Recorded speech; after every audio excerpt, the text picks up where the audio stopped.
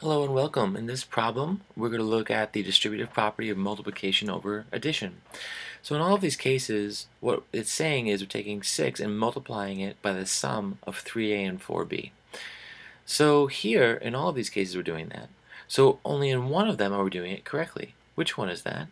Well here, if we look at choice 2, that's correct. How do I know that? Well, we're distributing the 6 to 3a. 6 times 3a is 18 A's. 6 times 4 B's is 24 B's. So there we're multiplying the 6 by the 3A and distributing it also to the 4B. We're distributing or multiplying 6 to both terms over addition.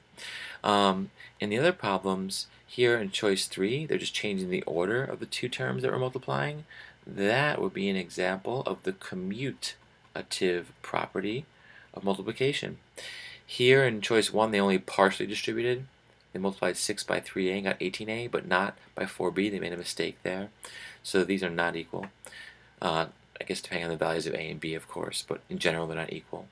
And here, uh, we are also using the commutative property. We're changing the order of these two terms.